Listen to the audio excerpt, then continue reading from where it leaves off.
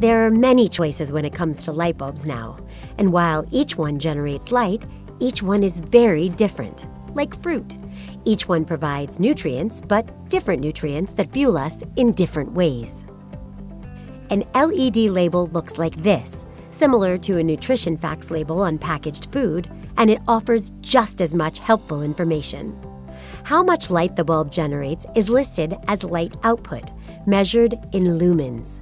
The more lumens, the brighter the light. You will also find the color of the light labeled on the bulb packaging. This is referred to as color temperature. A low value means a warm light, like soft white, while a higher value indicates a cool light, like daylight. Lastly, there is the Color Rendering Index, or CRI. This indicates how closely the colors of objects are compared to being in sunlight. Still stuck on wattage? Here's a quick conversion chart. So now when you replace your old incandescent light bulbs with LED light bulbs, use the wattage on the light fixture only as a guide for how much energy the light bulb can use. You'll be able to use a much brighter LED light, and you won't have to change it again for over 20 years.